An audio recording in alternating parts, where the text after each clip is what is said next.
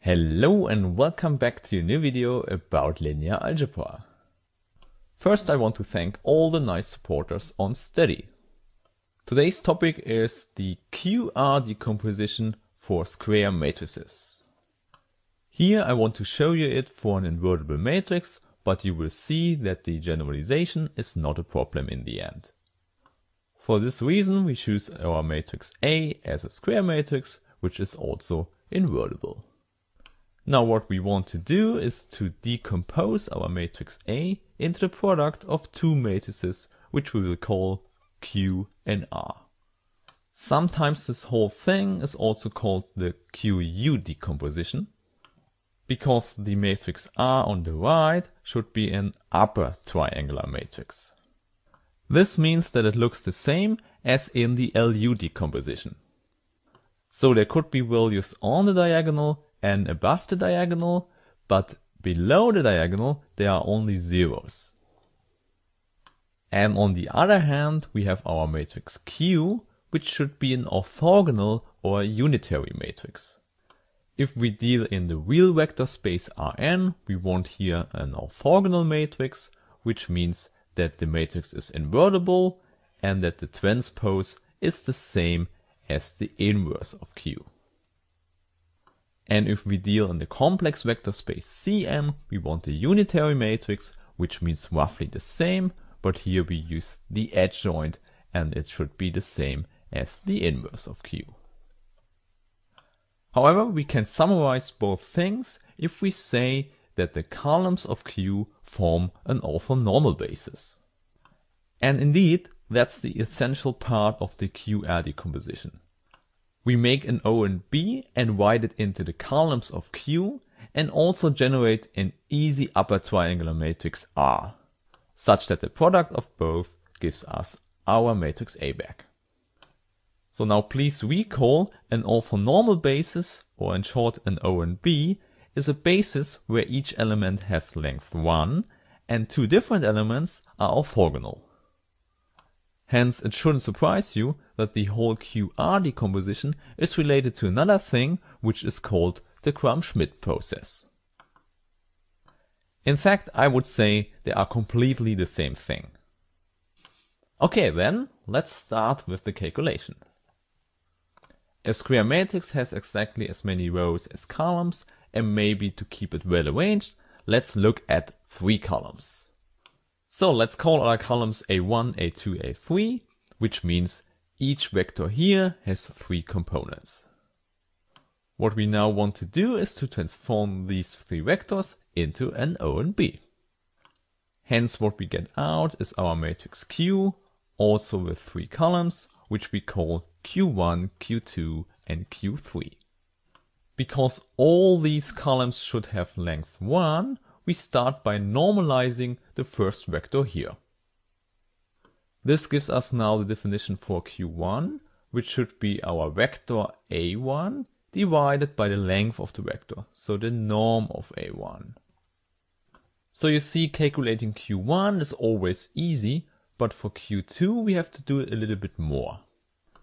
Here you see the picture, this is the direction of q1 and this one is a2. And you see by just normalizing A2, you don't get an orthogonal vector. This means that what we have to do is calculating an orthogonal projection.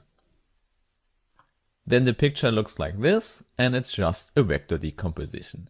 And the blue vector we can calculate with the help of the inner product. Here this just denotes the standard inner product, or sometimes also called scalar product, and if you calculate it, you get the length of this vector here. Then by multiplying with the normalized vector q1, you also get the direction in and you get out this error here. However, this is not what we want. We want the orange error here. So let's call it A2 perpendicular. And how to calculate that you should see immediately because you can write down the vector and then you see this is just a vector subtraction. So you write a2 minus the blue vector here. And this gives you the orange vector. You see it's orthogonal to q1 but not yet normalized. And this is what we now can simply do as before. We take our vector a2 perpendicular and divide by its length. Okay, and what we get out is our Q2. And you should always read that as a definition. So this defines Q2 and this one here defined Q1. Now before doing Q3, let's first talk about our matrix R as well. Let us just use the space up here. Now please recall what we want for the matrix R. We want to multiply Q with R such that we get out our original matrix A. So for example, if you look at the first column in R, you have three numbers here. And the first one gets multiplied by the first column here, the second one by the second column, and the third one by the third column here. So, and this one should get you to the original column A1. In other words, we have a linear combination of these columns here and what we put in the matrix R are just the coefficients. Okay, then let's fill in the first column here. So I erase that again and now we look how to get to A1 by a linear combination of these vectors here. Now if you look at this equation here, you can bring that on the other side and then you have the linear combination, which means this number here, the norm of A1, is exactly the number that you should put in at the first position here. And because there is no Q2 or Q3 involved here, we get the zeros here as we wanted from the beginning. So the idea is here that you don't calculate again formulas for the matrix R, but rather you put in the numbers you calculate in these steps immediately into the matrix R. Okay, and now we can look at the second column here as well. There we look what is the linear combination for these vectors to get out to A2. Okay, here you see A2, so you can put that on the other side, and there you have Q1. So this part here is exactly the coefficient in front of Q1, so this should be up here. It's the same idea as before. When calculating this number, you can store it immediately into the matrix R. And the coefficient in front of Q2, you see here, it's the same as before. It's the norm of this vector here. And you put that on the diagonal. It is not the same number as before, but it's the same idea. So you get norms on the diagonal and above the diagonal, you will get inner products. Also what you see here is no Q3 involved and therefore here is also a zero. Okay, and now we are ready to deal with the last step, the last column in this example. Now we want to calculate something that I call A3 perpendicular, which means we calculate orthogonal projections and subtract them from A3. So the first part would be calculating the projection of A3 into the Q1 direction, which looks the same as before in uh, this picture. But then we also have to consider the uh, direction into Q2. So we also calculate this one and subtract it.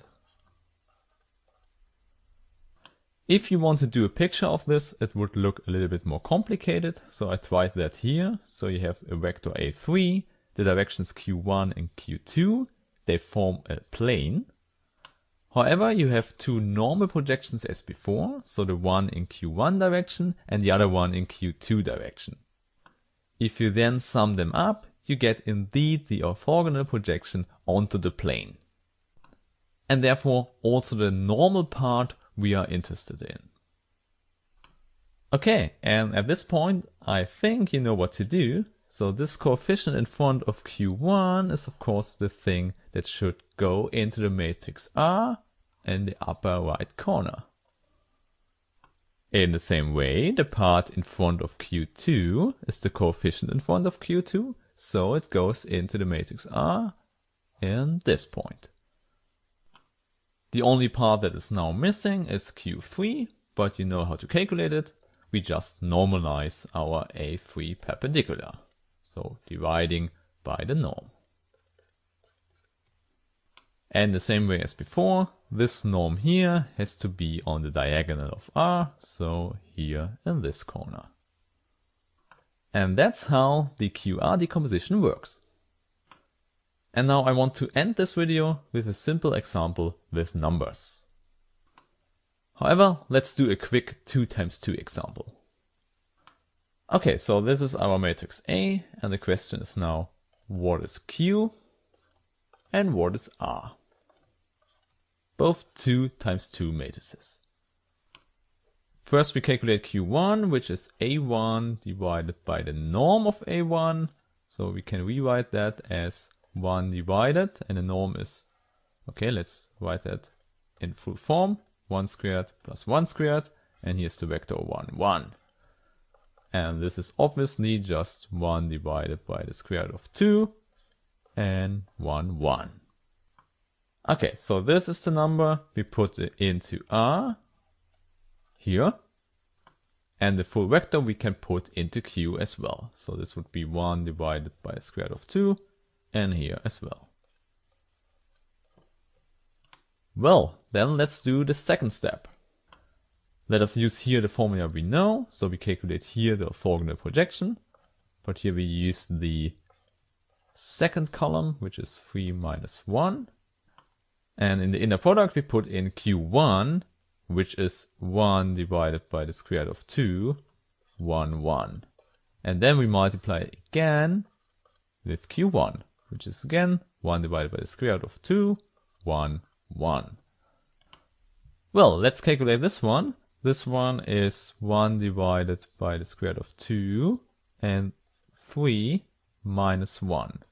In other words, 2 divided by the square root of 2. We can cancel 1 square root of 2 and what we get out is just the square root of 2.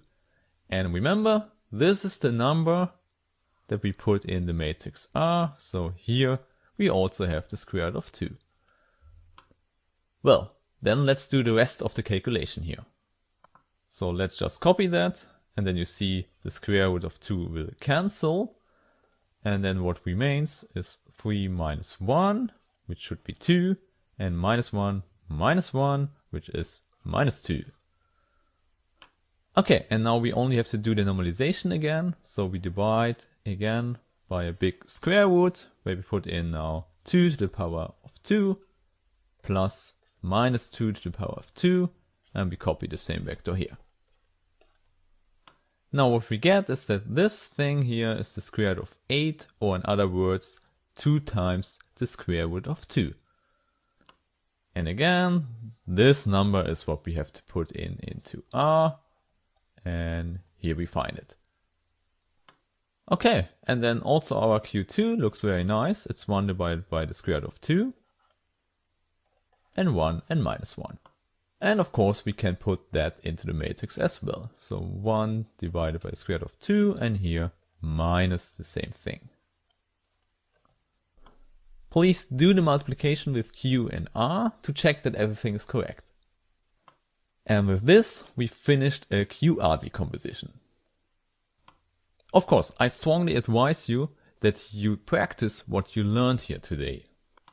And for this reason, I give you here another example where you can try out if you really understood the concept today.